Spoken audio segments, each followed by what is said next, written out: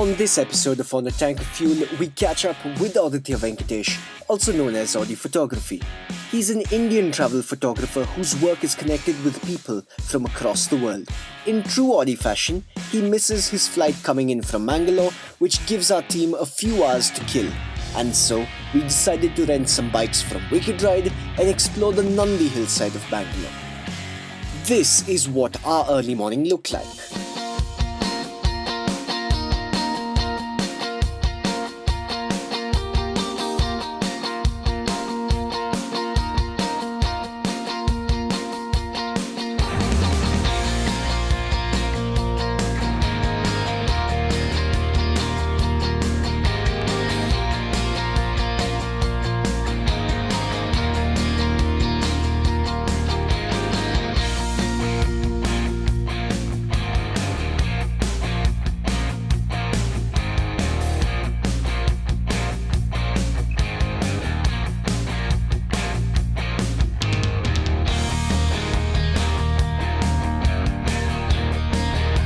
And once we were done fooling around, it was time to head back to the airport and pick Audi up.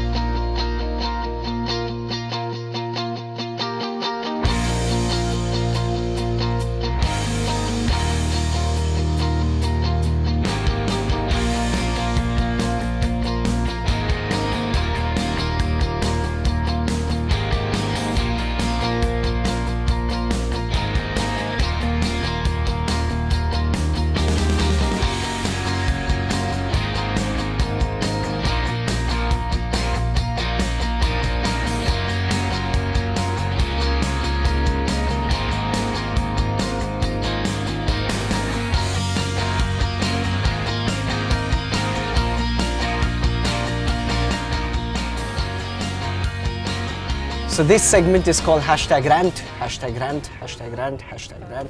Or we can call it living on the edge because we're on the edge of a ledge. Safety notice, everything is safe. You won't fall more than two feet. Depth perception seems to be a little off. I can see a lot Don't of worry, depth from my perception. There's a huge continuation like this anyway. Okay. We met at Christ University. That was the first time? No, met outside of Christ. Um, I had just dropped out of chartered accountancy and then, uh, You had just started your page. no, I didn't even start it You didn't yet. even start the No, page yet. no. Okay. This was before I started my page even. I had a group.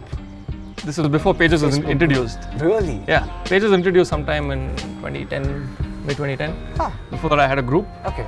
It was on my personal profile, and then when Pages came, I kept my page ready, but I didn't launch it I remember. till I had some basic confidence. You weren't my first professional gig. That was Mount Carmel College. I shot there Yeah. through Dhiren. Dhiren was this mutual friend who introduced us. Till that point, Akshay, uh, Mysore Gurraj Rao, was shooting your stuff.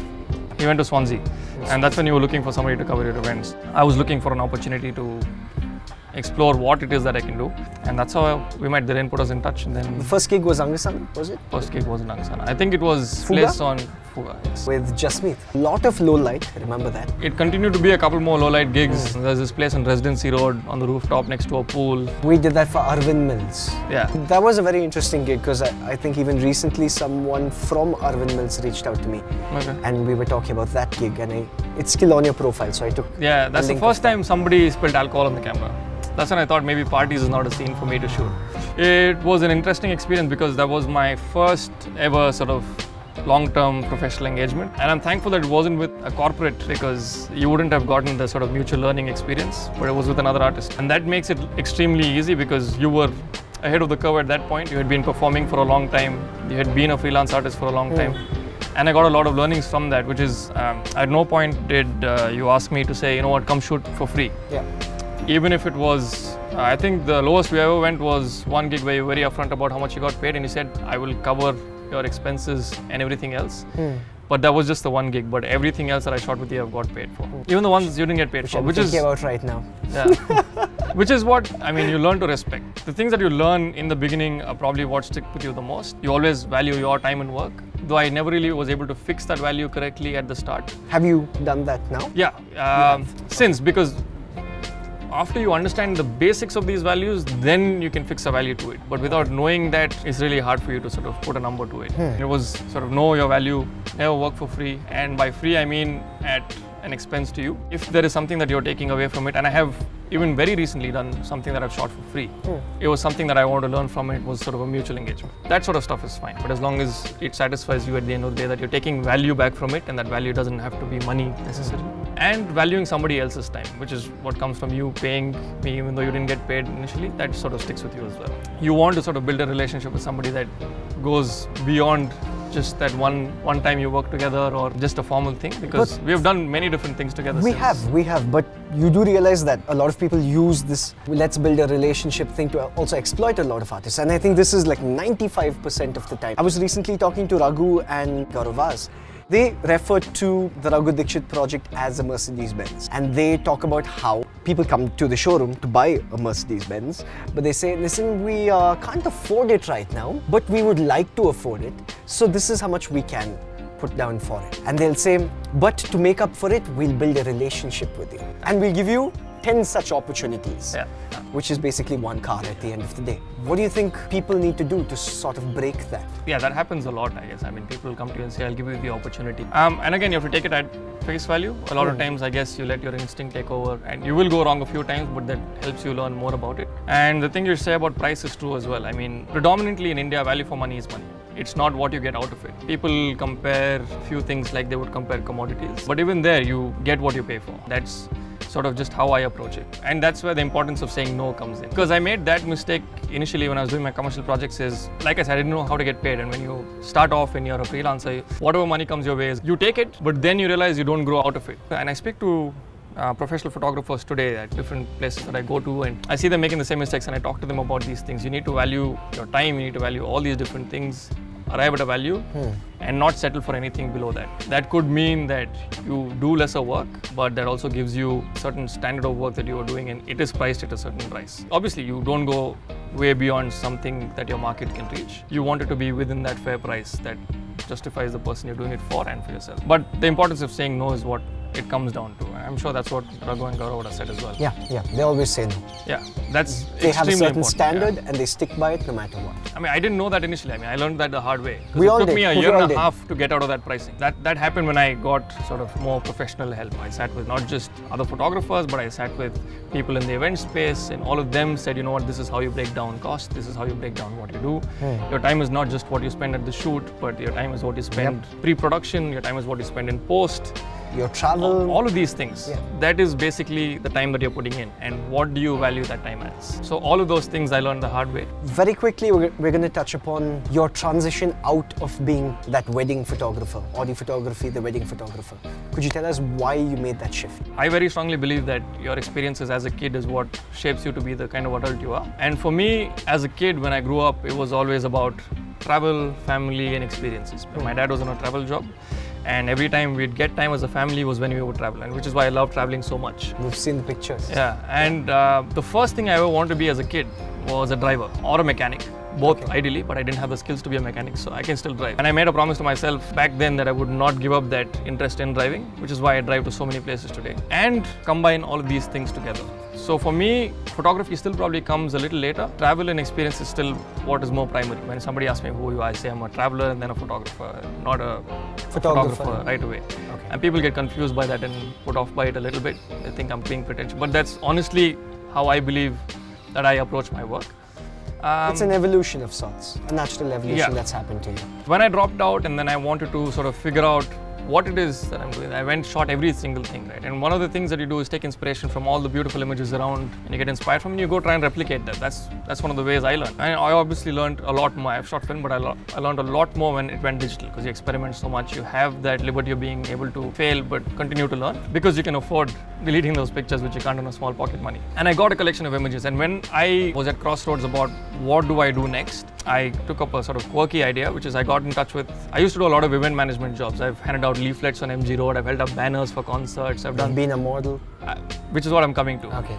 So through those channels, I got in touch with people who are model coordinators, and I hmm. said, hey, you know what? If you need an extra to shoot, I'd love to come down there. Because what you need to understand is if you're taking it up as a profession, as a hobby is fine, but as a profession, there is a certain aspect that you need to learn, which is professionalism, and that only comes with interacting with other people in your industry to know exactly how they interact with people, what it is that makes them good at what they do. So I turned up as an extra to see how they interact, what exactly happens behind the scenes. Kumaran is the name of the photographer that I was in the most shoots with. Okay. Um, he has his office in Infantry Road. He's a really nice guy. Till now, formal meetings, he turns up in shorts, which is what I'm inspired by as well. Bike rides in shorts. Yeah, bike rides in shorts. We should should go get a that. pant. We should- we should Because I burnt my leg a little bit. You're getting little heat burns. Pants, Audi, they're extremely important in life. Yes. I wasn't prepared for a 650cc bike. It's true. you know. It's true. So, but we'll, we'll get something a little bit more powerful later on. yeah, Okay. back to. Okay. smooth plug-in. Smooth plug-in. So while I was there, and then I started getting to know the, the photographer as well, and then he also noticed that I was taking keen interest in all of these things, Hmm. and we started building a conversation. And one of the things that I also think is when somebody's doing their work, you don't go disturb them with your things. But when he sat down and he was chilling out, I, I went to him and I said, you know what, I'm really interested in this as well. If you are free at any point today or at any point in the near future, can you just let me know? He said, yeah, yeah, please bring your work. So I took my work back to him. And these are the sort of things that go a long way in hmm. shaping the career that you have. Is he looked at my images and said, there are some nice photos, some not so nice photos. But look at these pictures, I don't get what you like shooting. Which till then didn't occur to me that is what is the most important thing. Hmm. Because yes, as a photographer who's learned things technically and who knows the basics of photography, you can try and with enough hard work make anything look good. But your images that truly stand out are the ones that you connect with hmm. as a subject and you have a passion for. Hmm. And then when you execute that as a work, it goes to a whole new level. And he said that's what sort of distinguishes the work that anybody does. Okay. And he had a passion for advertising, he had a passion for portraits, and you know, he, he had won many awards for campaigns, and he was talking to me about his experiences. There were ad agencies who were sitting there who were also talking about the things that they like in a photographer. And hmm. Those are the things that I took. This is even before I started shooting And, with and you. these people openly had conversations oh, with you. very openly. Okay. Very open. Because I've seen you have conversations. Online, it's very hard to do, but I think face to face, it's a lot more easy for me to talk to somebody. Hmm. From that experience, I then said, you know what, I'm going to try shooting everything. So I shot parties as well, but I stopped shooting after that one tequila incident hmm. or vodka, I don't remember. No, but you did do a few other parties. But it wasn't a party party, that was a pool party. That Okay, one. That was a pool party.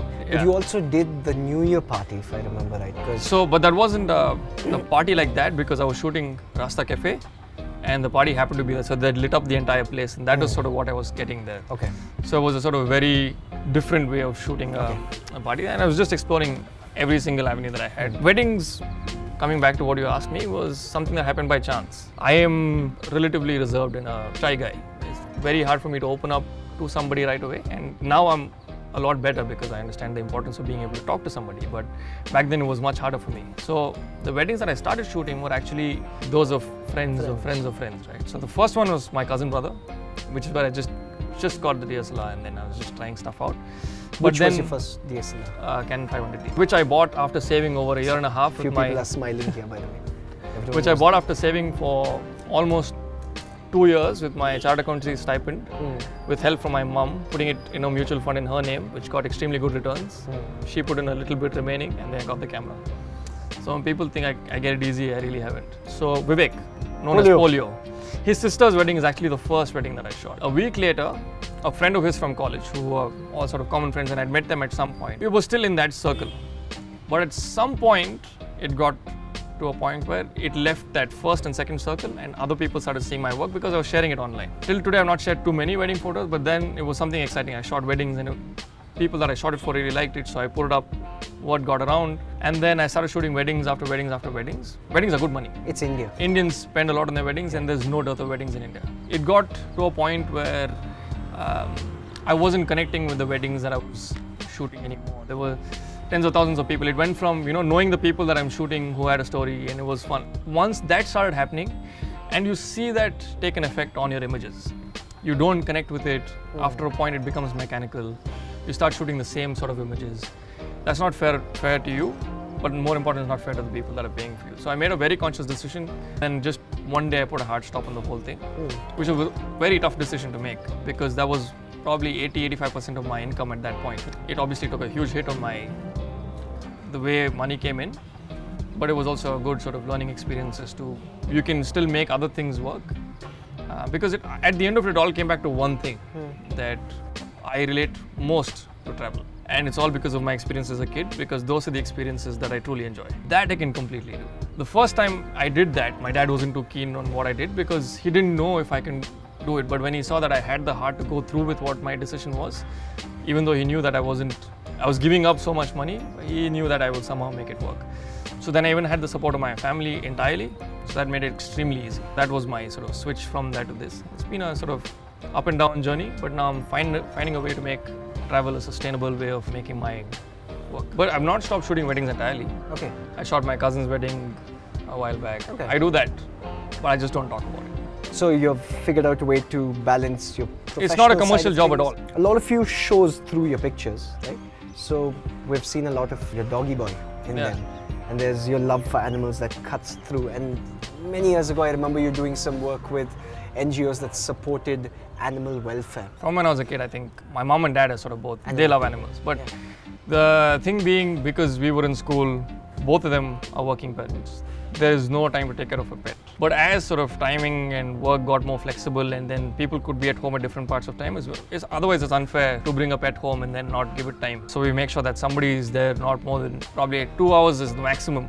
He's alone at He's home alone. now. I absolutely love animals. Uh, now he's probably the most important member in the family. Whenever we can, we do road trips and stuff like that. So, according to you, what is success so far? I guess for me, the definition of success has been changing ever so slightly as I grow and learn more about the world. I guess the broader definition for me is as long as I'm happy doing it, as long as it is good for all the people that I love and around me. If I'm doing it commercially, the people that I'm doing it for are happy. That for me is success at the end of the day. That's probably the most important part. This was part one of a two part episode. If you liked what you saw, or if you would like to see more of these stories, make sure you subscribe right here. We will see you next week in part two. This is On a Tank of Fuel.